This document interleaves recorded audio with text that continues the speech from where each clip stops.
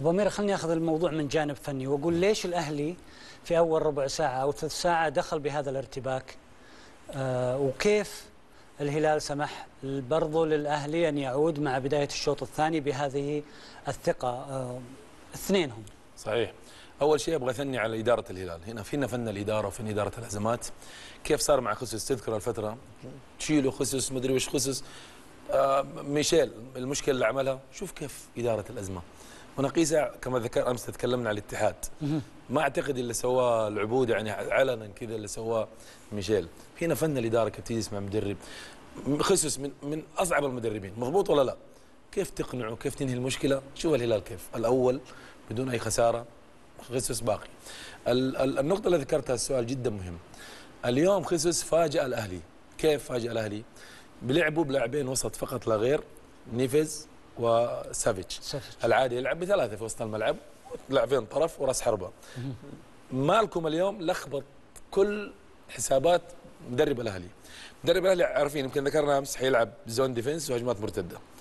اليوم اللعب بمالكم كراس حربة ثاني أو متحرك هنا وهنا تحت راس الحربة أربك دفاعات الأهلي كلها. انت انت شوف دفاع الأهلي بصراحة إيبانيز لاعب كبير جدا إلا صحيح. معاه كلهم ما بدي أقول سيئين ولكن أقل بكثير يعني في مباريات كبيرة مثل هذه عبد الباسط العمار المجرشي وبالتالي لما لما يجيك لاعب زي كذا بطريقة لم تتوقعها هيحدث ارتباك في لاعبين مثل هؤلاء بدا الشوط الثاني. إيش اللي تغير الشوط الثاني أنا؟ أقصده يعني من سؤالي لكنه نفس الفريق الهلالي هو نفس اللي صحيح، بدا الشوط صحيح. الثاني. كيف أنت تجاوزت؟ بالضبط. أنا أكمل لك. لما هو راجع ورا دحين دفاع ال- وسط لا، فريق الأهلي. راجع ورا بس بدون أي ضغط.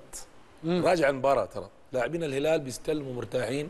الشوط الثاني اللي تغير تنبه لمالكم. تمام كذا؟ بدأ يكثف وسط الملعب يرجع المجحد شوية وكيسيه شوية فصاروا يساندوا ال- الدفاع أكثر. هذا واحد. اثنين اللي اللي بيتأكد من كلامي راجع الشوط الثاني الضغط لاعب الأهلي صار أقوى صاروا يدافعوا أكثر.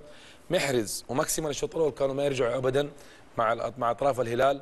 شفنا نجم نجم المباراة اللي يمكن سعود آه، عبد الحميد خاصه الشوط الأول. كان يسرح ويمرح في في دفاعات الأهلي. الشوط الثاني دائما تبي تهاجم لازم تدافع صح. هذه هذه قاعدة في كرة القدم. الأهلي دافع صح وبالتالي بدأ يهاجم. بصورة رائعة. بدأ الشوط الثاني الأهلي مسك الكورة سيطر بدأ يكثف الهجمات خطورة. كان عندهم مشكلة في لاعبين فيرمينو وفيجا فيجا تمريرات خطأ. حتى لما نصل للمرمى رعونه أمام المرمى.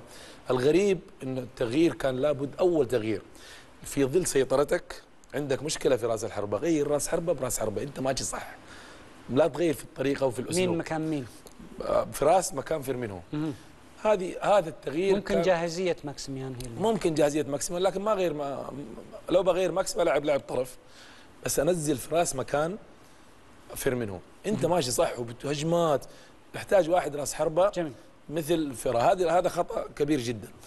المشكلة إنه اثنين من نجوم المباراة ميندي اليوم وايبانيز خطأ الهدف يعني أحرق الشيء بالضبط يعني يعني تزعل لما اثنين من زي دول منجمين في المباراة بيحدث هذا الخطأ. طبعا أنا احمل الخطأ طبعا الاثنين ولكن أكثر إنه لوحده ايبانيز فكان لابد. مندي يجلس في في المرمى.